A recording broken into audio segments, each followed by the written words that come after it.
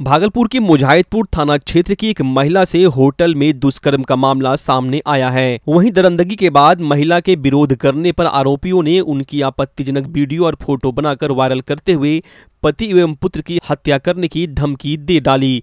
बकायदा इस मामले में महिला ने मारूपचक मोहल्ला स्थित बौसी रोड के मनोज कुमार विश्वकर्मा के खिलाफ थाने में रिपोर्ट भी दर्ज करवाई है। इस संबंध में पीड़ित महिला ने बताया कि पिछले साल जनवरी में ही आरोपी से उसका परिचय हुआ। पड़ोस के घर में आना जाना उसका लगा रहता था। यही नहीं, आरोपी के द्वारा महिला के बच्चे को दुलार करना, उसे घुमाने ले जाना और चॉकलेट देना आम बात हो गई थी। इसी क्रम में दोनों में बातचीत होने लगी। पिछले तीन मार्च दो हज़ार बीस को आरोपी बेटे को घुमाने लेकर गया था। दिन के करीब साढ़े दस बजे उसने महिला को फ़ोन कर कोतवाली थाना क्षेत्र के दवापट्टी रोड में स्थित एक होटल में बुलाते हुए कहा कि उसका पुत्र रो रहा है। बच्चे की तबियत खराब होने का भी उसने अंदेशा व्यक्त किया था।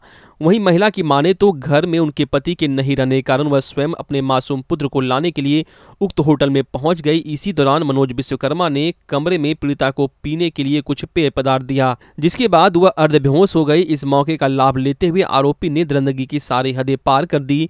आपत्तिजनक स्थिति में वीडियो और फ़ोटो बनाकर उसे वायरल करने की धमकी देने लगा। परिवार और समाज के भय से पीड़िता ने चुपचाप घूट घूट कर भय के माहौल में जीना स्वीकार कर लिया। आरोपी के दरंदगी के बीच दहशत के माहौल में महिला ने अपने पति, सास और अन्य परिजनों को कुछ नहीं बताया। लेकिन दरिंदों के बेशर्मी का यह सिलसिला भला कहाँ थमने वाला था? उसने फ़ोटो और वीडियो दिखाकर ब्लैकमेल करना जारी रखा और 23 जून को बेटे के जन्मदिन के उपलक्ष्य में उपहार लेकर घर आए आरोपी ने पुनः होटल जाने के लिए दबाव दिया।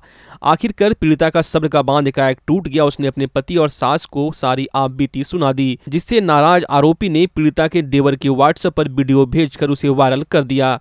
घटना की जानकारी मिलते ही पूरा का पूरा प्रशासनिक अमला हरकत में आ गया। एसएसपी आशीष भारती ने इस संबंध में बताया कि प्राथमिकी दर्ज होने के उपरांत ही ताबड़तोड़ कार्रवाई करते हुए पुलिस ने आरोपी को दबोच लिया है। एसएसपी ने जल्द चार्जशीट कर न्यायालय में पेश कर आरोपी को सजा दिलाने का प्रयास करने की बात कही। मुजाहिदपुर थाने में एक मामला सामने आया था जिसमें एक महिला के द्वारा कार्ड दर्ज कराया गया था। उनके साथ गलत करके उसका वीडियो बना करके उसको वायरल किया गया है। और उस मामले में पुलिस के द्वारा के पास जैसे ही मामला है तो तुरंत उस पर कार्रवाई करते हुए जो नामजद अभियुक्त है, उनको गिरफ़्तार किया गया है और उनको जल्द से जल्द चार्जशीट करके उसमें